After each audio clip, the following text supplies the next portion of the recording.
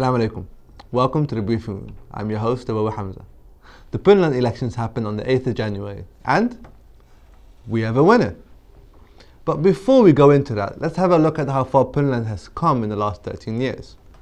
Somaliland and Puntland are slightly similar in this aspect, you know, in the way that they came together between themselves to create some form of a governing structure.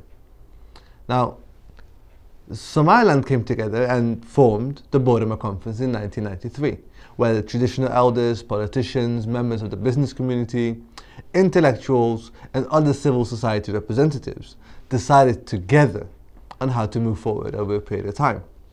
Now, the same happened in Puntland during the Garowe Conference in 1998, in which Puntland was officially established. Now, both regions have one thing in common when it comes to the political governance of their respective territories they base their support upon clan elders and their organizational structure along lines based on clan relationships and kinship.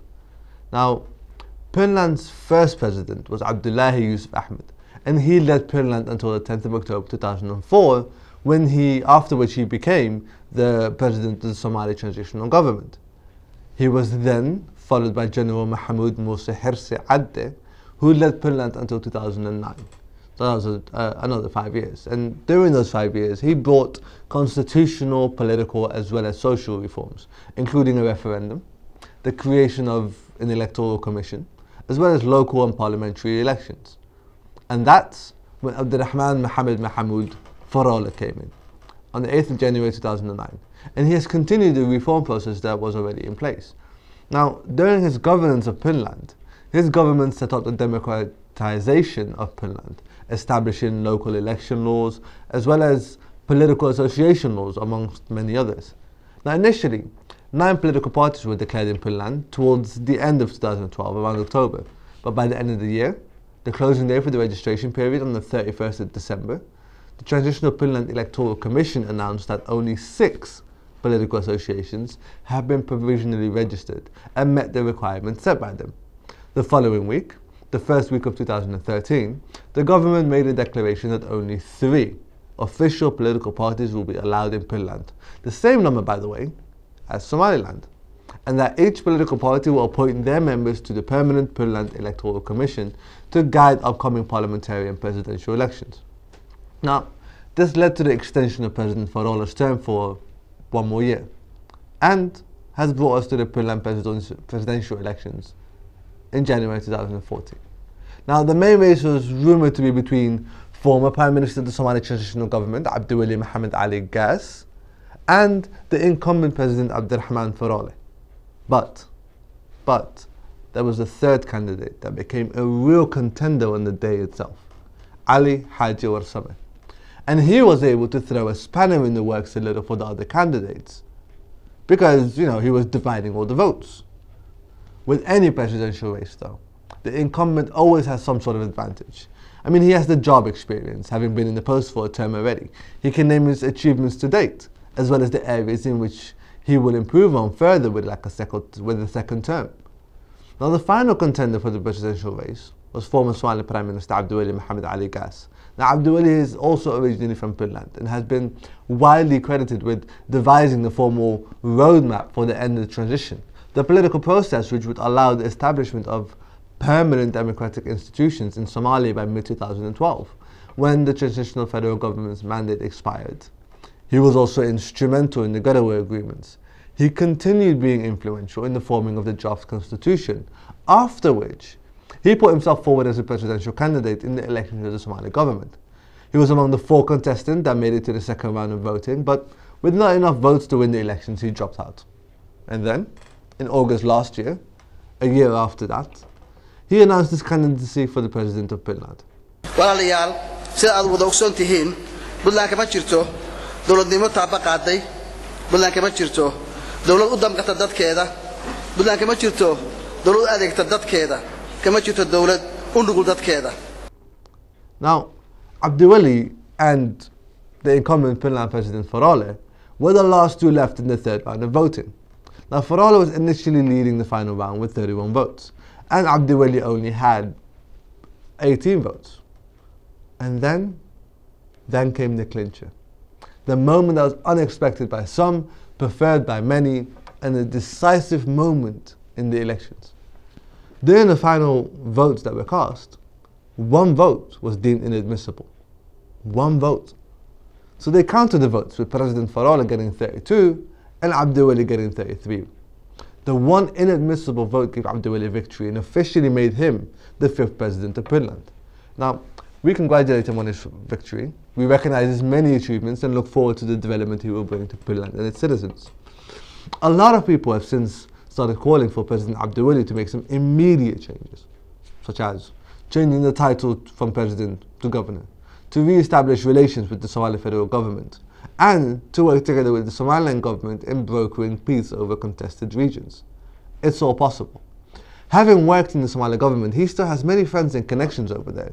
And since he was the one who was so instrumental in its formation, he could be the one that brings them closer together. He is also the gateway between, physically, Puntland is the gateway between Somaliland and Somalia. And Abdiweli understands the political process. He understands what part of the constitutions of Puntland and Somalia are similar and which differ. And he also understands who the stakeholders are. But the question is, will he continue to be looking out for the interests of the Somali government and try to bring Puntland in line with their requirements? Or will he serve the interests of Puntland alone and sever any previous allegiances he may have had with the Somali government? I mean, only time will tell. And this is when things get a little bit interesting because anything is possible. Now, some of the things that could be done, and this, if possible, honestly, it would really and truly become magnificently interesting in Somali politics, is if Puntland just decides, you know what, we don't want to be part of the union anymore. We are going to become an autonomous state in our, in our own region, in our own aspect. We will form, continue to have our own government and we have nothing to do with, with Somalia as a whole anymore. And that becomes problematic for the Republic of Somalia because over the last decade or so, over the last even 15 years, it has been Puntland who has been so influential in trying to keep up the idea of a Somali union. I mean, it was Puntland who has been able to provide certain parts of security. It has been Puntland who has always been, you know, the, the poster child almost to anyone wanting to become a state within a fed, within a bigger aspect of, of, a, of a federal country. And, and to be part of this form of federalism, Puntland was almost leading the way and its, its example was being followed by others. Its example was being followed by Jubaland, for example. Now, if Puntland decides for whatever reason to break away from this, and it's possible, I mean, the relations right now are, not good at all, but if Puntland decides to break away from this, what should its next step be? And how many more states will break away? And would it even be feasible or possible for, for whatever reason, for Puntland and Somaliland to get together and say, hey, let's just form our own little union. Let's let's not include South Central whatsoever, and let's just keep it to the northern side. And who would stop them? Who would be able to say, hey, you know, you guys can't do this because if Somaliland and Puntland, the only two, you know, reasonably stable regions within the Somali Peninsula, have been able to come together and say, hey, we're just going to do this together by ourselves. Would the case for international recognition become a lot easier? And would Somaliland actually accept Puntland and, and, and, and accept a union between the two because the, the complaints have always been about Mogadishu, it's always been about the south. And if Somaliland and Puntland get together, it could also resolve the actual land disputes that are happening right now in Sol, um, and Ain. It's probably just an idea, it's a fantasy, it's probably never going to happen.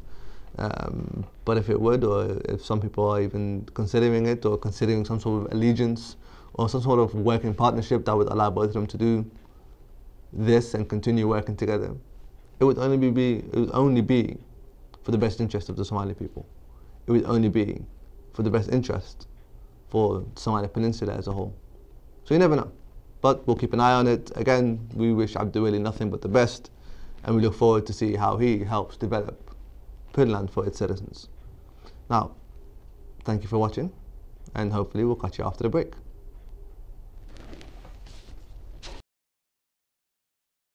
Assalamu alaikum. Welcome back to the briefing room. My name is Samira Ahmed and I'm your co-host.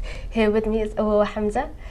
Hi. Now, uh, for the second half of this show, I really wanted to cover the new selection of the cabinet in the Somali federal government. Now, the new Prime Minister, uh, Abdiweli Sheikh Ahmed, has selected 55 new politicians consisting of 25 ministers, 25 deputy ministers, and 5 state ministers. Now, Hamza, I mean, this has been a long awaited list. Um, it's really interesting to see uh, a, a, few of the more experienced ministers actually not be included in the new cabinet. What, what do you think of this? Uh, it is very interesting. It's because they initially thought that because of the whole vote of no confidence thing, and there was there seemed to have been like quite a, a inner group and inner clique within the the, the, the cabinet ministers that were not with uh, ex-Prime Minister Shirdon, um, and they weren't attending any of his meetings, and they were quite basically just ensuring that they made, uh, kept their, their, their job safe.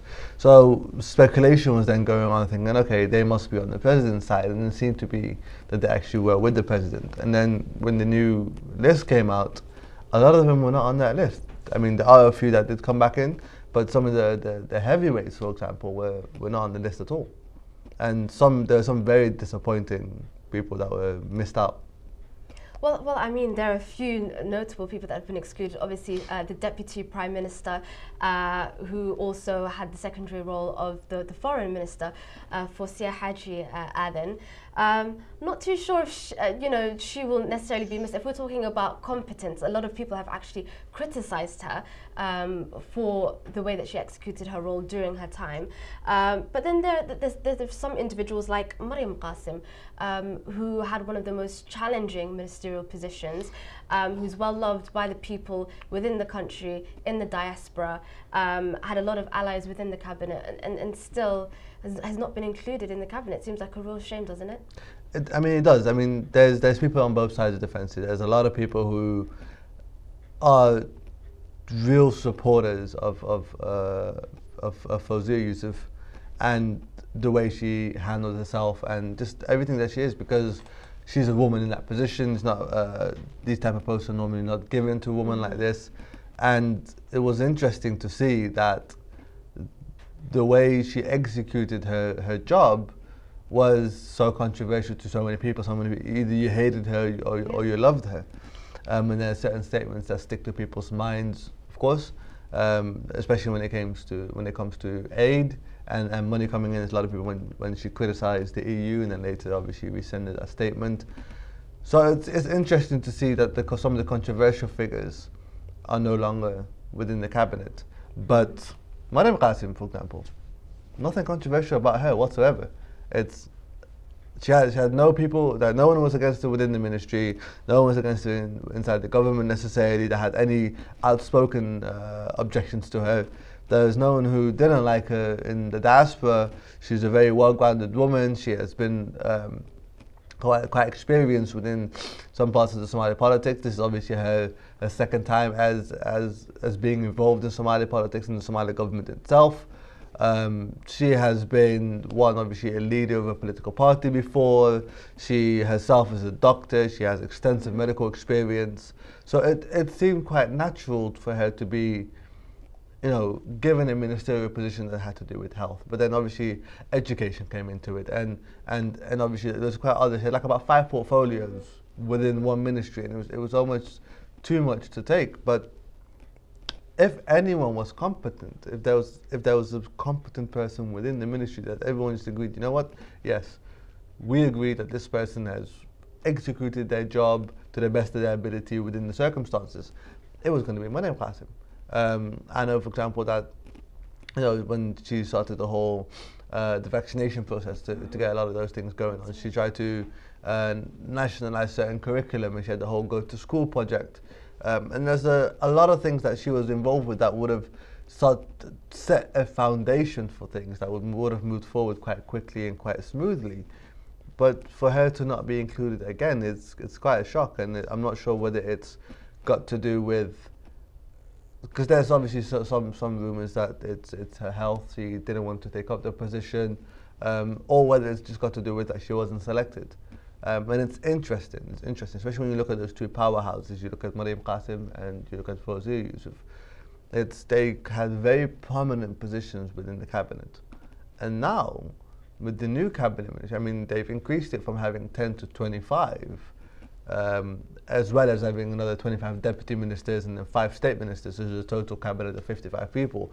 But from having two women who have such prominent positions as the deputy prime minister and the foreign minister, as well as obviously the, the portfolio that Mariam Qasim had, to now getting another two women within the, the 25 and and and the roles that they're given. I mean, I mean, this is completely absurd. We've gone from having two women in some of the most senior roles in the country. You know, in terms of in the continent, anyway, it's something that's really revolutionary and really pleasing for us to see. And now, what are the roles that the women are getting? Something like, you know, minister for, for gender or minister something? for gender, and and it's it's, it's crazy Yeah. some of the things that that that we it's it's almost like uh, for very specific purposes they were not given prominent positions because these had either been promised to somebody else or had been ultimately given to somebody else. Um, and it's it's interesting to look at how they've done this because when when you look at the the breakdown of the minister, it seems that some parts seem a little bit not irrelevant, but does there need to be like a whole ministry for it? And it's it's almost like you had issues paying your ministers on time when there was just ten. How are you going to pay the ministries of 25 ministers and their deputy ministers and their team and the whole office? And it's going to be difficult. It's going to be difficult to see how they're going to try and, and work that one out. I mean, it will be interesting to see um, how things do pan out for them. Um, now, in terms of um, resignations, we've already had two.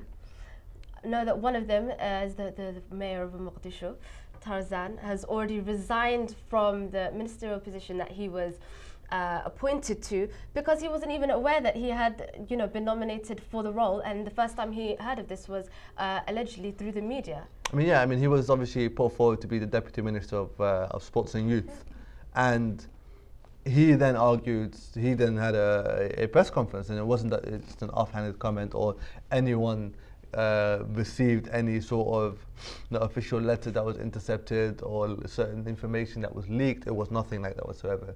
He just had a press conference the next morning and said, "Hey guys, by the way, I know I was nominated for this, but I was not consulted. Nobody told me."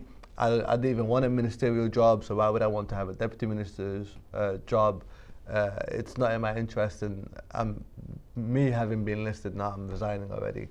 Um, and, and at least at least he did that. At least it was for his own personal reasons. Say like he just didn't want to pick up the role. I mean, he was one of two, and the second Yeah. one is a little bit more interesting. I mean, uh, this one was to become the deputy minister of, of energy and water. I think it was. And his argument for not wanting to uh, take up the position was basically, hey guys, by the way, for my sub-clan to get uh, a deputy minister's role uh, and for me to represent my sub-clan in this role, we deserve to at least have a ministerial role. It's not to be a deputy minister, but to be an actual minister. I think the exact words were it's, it's too low profile of a role for, for my clan to accept. And and, and he, yeah, and he, he then resigned saying, you know, and I, I resigned with the full support of my sub clan. And it's interesting. It's interesting because it's it's all about how the formula, the 4.5 formula, and now as everything else is being worked out. And it, if you look at how the ministry is being done right now, it isn't being used at all. The 4.5 formula is only being used in Parliament. Um, the 4.5 formula is only being used to gather enough MPs in certain positions to be able to say, okay, hey guys, by the way, we have a parliament that somehow, some way conforms or is close enough to the whole 4.5 formula. But that's just in parliament. When it comes to the prime minister and the president's role, it seems to only be for two particular clans.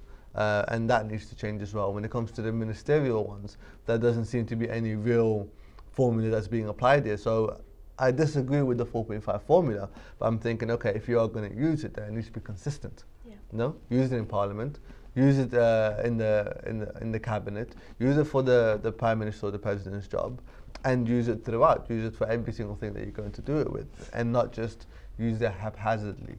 And the same applies again for um, this whole federalism aspect of governing.